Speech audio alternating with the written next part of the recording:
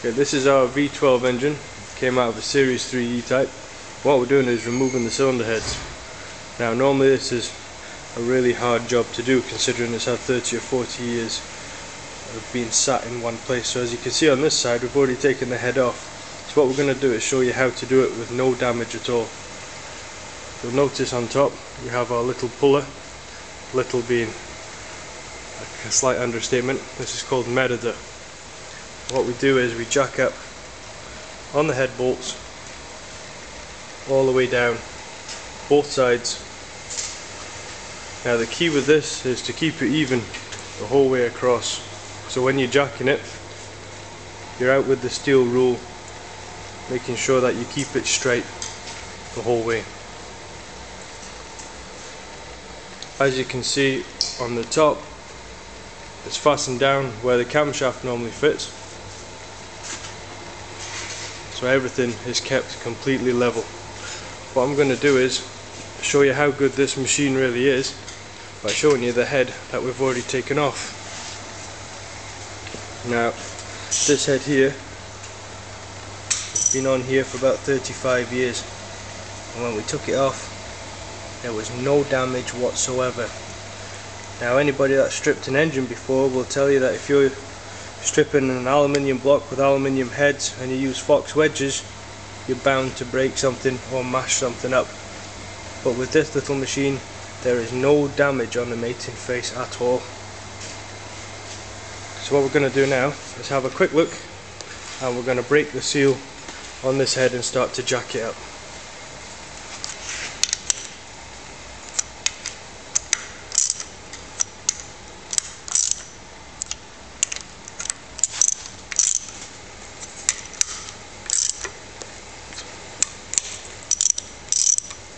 See all he's using at the moment is just a straight half inch ratchet and a socket and he's winding those studs down straight onto the head bolt.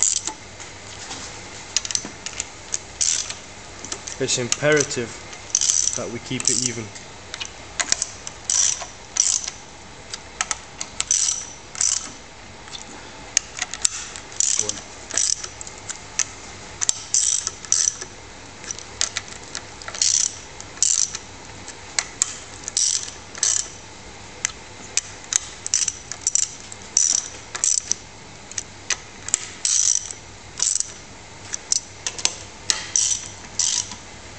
Okay, here we go. We can see the gap opening up at the bottom.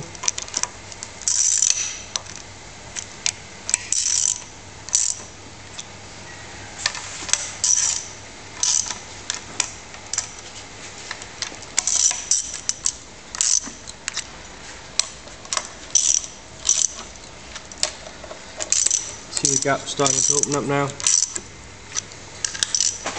It's not a fast process, but it is by far one of the safest ways with no damage to the head or the block. See the gap opening up around the bottom.